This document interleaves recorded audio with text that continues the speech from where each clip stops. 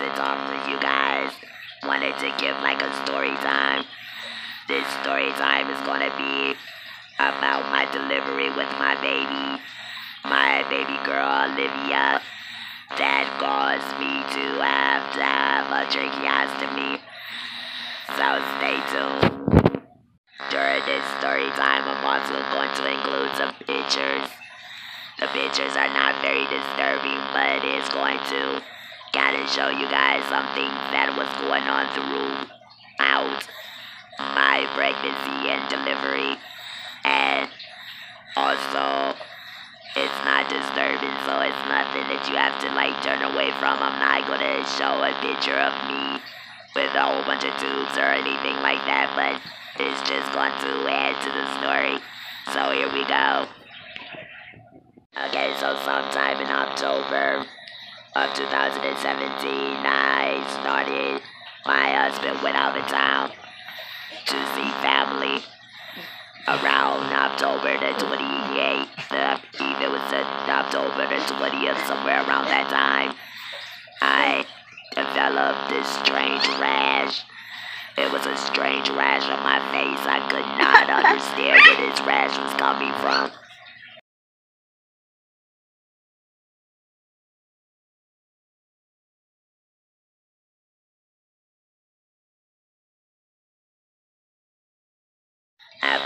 Put I put everything on this rash to try to get rid of it, but it would not go away.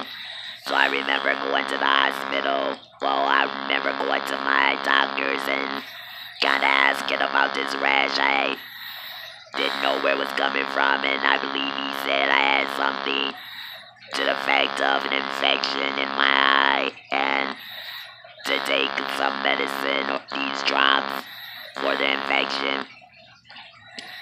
It did not work. It actually felt like it was getting worse. So my mom, my um my husband when he came back and we everybody was getting like seriously worried about like what is this rash on my face. Um, it looked kind of like a butterfly, so I was like looking for autoimmune diseases and stuff like that. And my hospital was telling me something about um an allergic reaction. Now during this time I was dieting. I was um but I wasn't eating anything unusual. Uh but the rash just kept being there and then all of a sudden it disappears. So I had no clue where this rash was coming from. Um, it was just, it was just there. Two weeks later, I was at work and I was on my way home from work. I worked midnights as a PCT, and I was on my way home when I passed up a coffee shop I passed up this coffee shop and instantly I felt nauseated. I, it, the coffee smelled like it was burning. It felt, it smelled disgusting. Now, take the note that I have been going to this, passing up this coffee shop every single day. When I go home from work, I always pass it up. So, this one particular specific time, this coffee smelled disgusting. So I was like, oh my god, something's not right. So I went to the Dollar Tree to get a pregnancy test because, okay, nothing, I never, ever smell something that disgusting and nothing makes me like that unless I was pregnant. So I went to the Dollar Tree and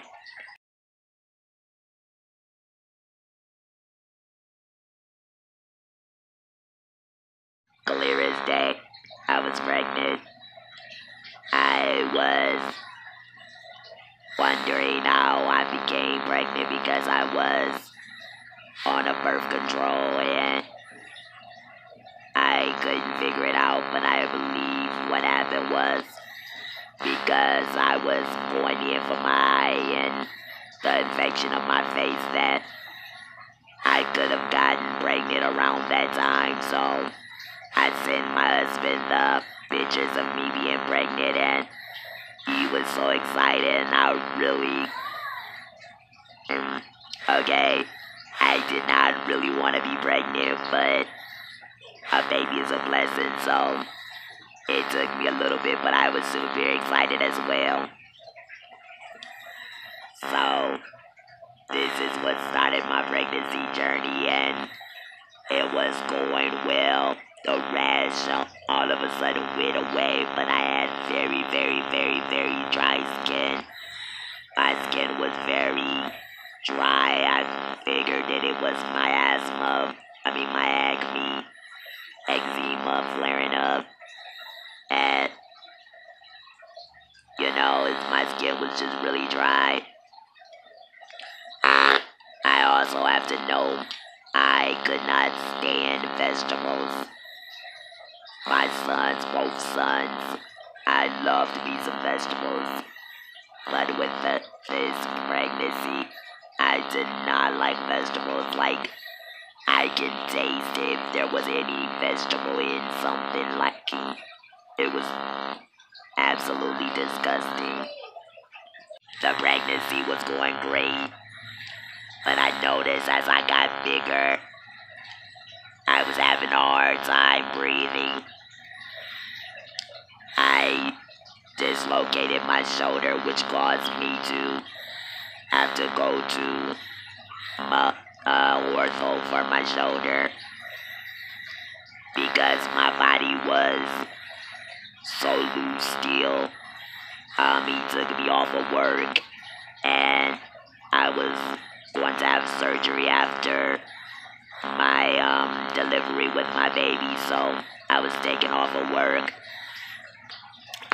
And I just remember I just loved sweets. I loved all types of stuff, but I was getting very big. And my breathing was getting so much worse. Like, I was taking my inhaler all the time.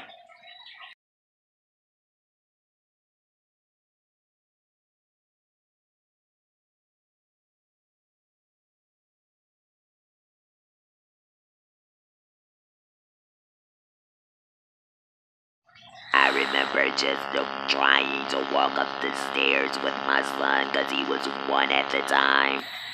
And just having to close my eyes and push myself to get upstairs.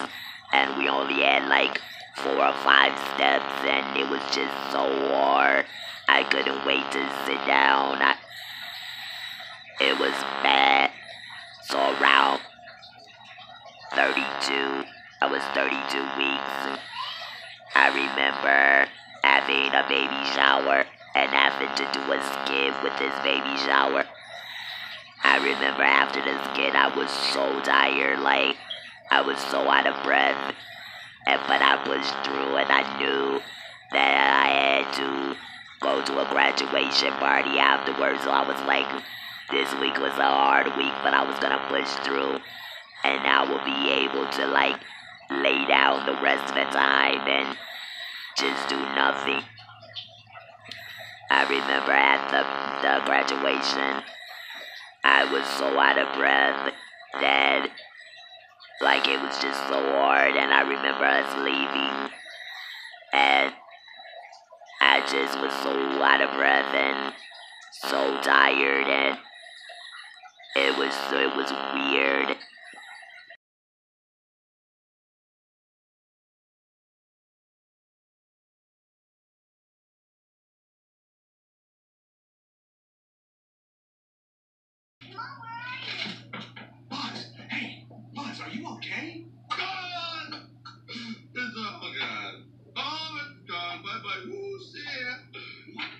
to you? One minute you're defending the whole galaxy, and suddenly you find yourself sucking down Darjeeling with Reintonated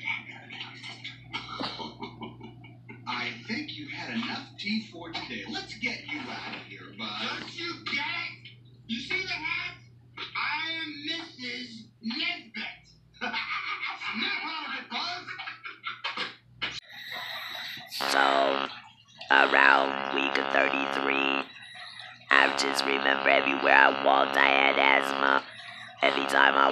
was wheezing. And it was just gotten to the point where it was just really bad. Like, my inhalers just wasn't, it wasn't working. So, I called my, the nurse and I told the nurse that I just, my asthma was just really bad and that um, I was hoping that they would just send me a different prescription, um, a higher dose. That I, you know, I thought nothing of it. I was like, they're gonna send me a different script and I'll be okay. But I remember getting the call back and she said she could hear me wheezing on the phone and she was like, no, go right up to the hospital. I was like, oh no. My husband was at work and I'm like, okay. I remember calling him and I was like, hey babe, uh, the doctors want me to go to the hospital, but it's no rush. I was feeling fine as long as I was laying down. And I was like, it's no rush. When you get home, we'll go to the hospital. They give me a breathing treatment and you can come home and get you some sleep.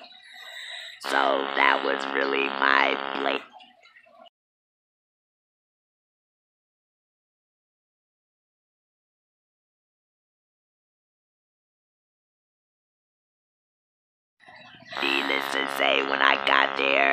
That was not what was going on. It took some effort to walk in, and I, I told the lady, and she can hear me wheezing. So she instantly got me a room. They take the baby. The baby was okay.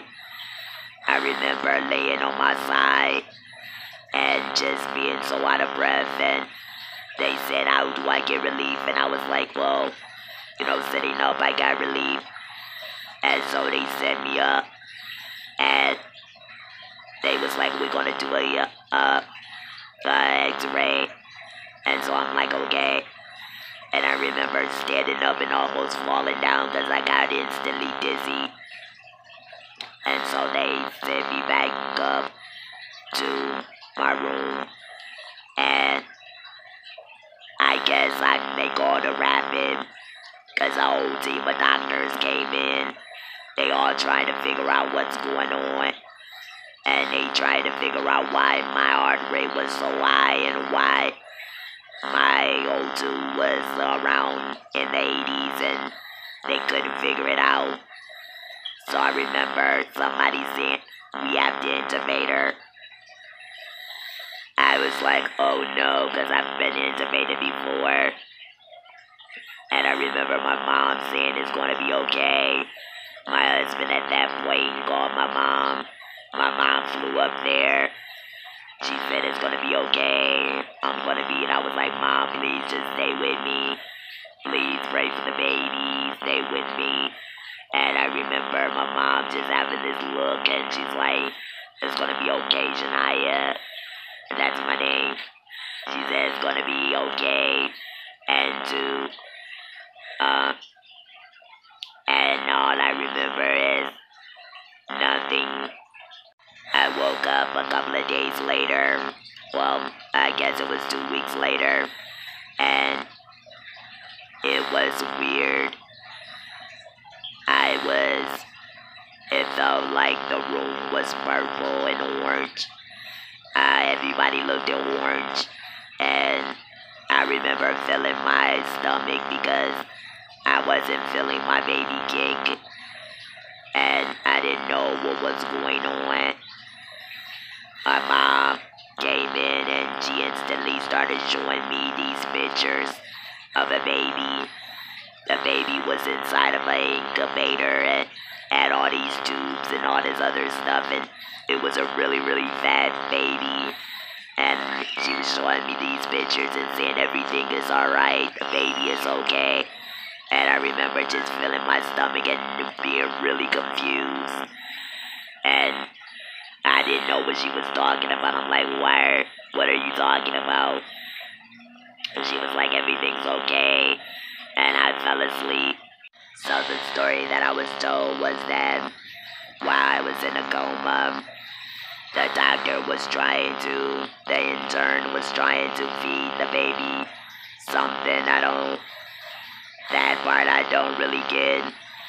Is how they was trying to feed the baby some nutrition while I was, I was still intubated. And it went down the wrong hole, so it went to my lungs. I ended up getting an infection when I got this infection, the baby was like, I was 105 and the baby was trying to get out, so the baby was, Livia had enough. So she tried to come out and I ended up going into delivery. The doctors, everybody had gathered around. They thought they was gonna have to fly me out to a different hospital because they wasn't prepared, but I was it was happening so fast that they just had to call a meeting and have the delivery team up with the ICU with me. Um, so it was ten nurses, ten um, OB nurses. It was almost 50 people just going in there. They was going to perform, perform a cesarean, but my husband said, but the risk was that I was going to lose more blood and that we both won't be, we both may have died. So my then my husband decided to have me do push myself and um to just save me and if the baby survived that was gonna be great but he wanted me alive, and so they all came out. They turned the the medication down, and just like God had made us, I began to push. I pushed. I was. I don't remember any of this, but I pushed. I pushed the baby out, and then I went down I was done and I went back into a coma. And the baby, the nurses came, took the baby. They said the baby was great. Um, Olivia, she wasn't breathing. Her heart was pumping really slow, so they did CPR on her and brought her back. She started crying, and everybody was like applauding applaud like they all was laughing and it was just amazing. And there was a team of nurses that went to the baby and a team of nurses that came to me and we both survived.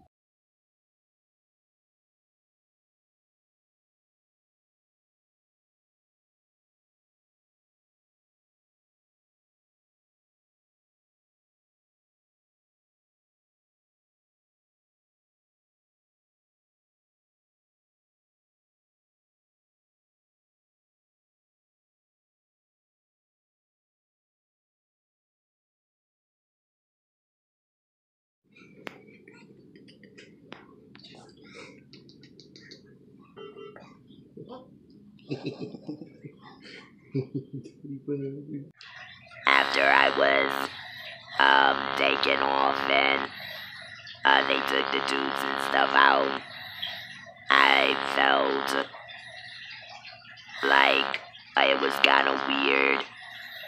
Every time I drank, I had to drink really, really, really fast, or I would choke. So I think there was damage done before when uh, the tubes were taken out or when they was put in. I uh, felt like I was gonna choke, and that's what. Um, but I was determined to see my daughter, and I was determined to get out of the hospital. So there you go. That was my delivery, and I hope you guys, if you guys have any questions, make a comment down below. Um, if there's anything that I left out, I will make another video, but thank you all for listening and bye.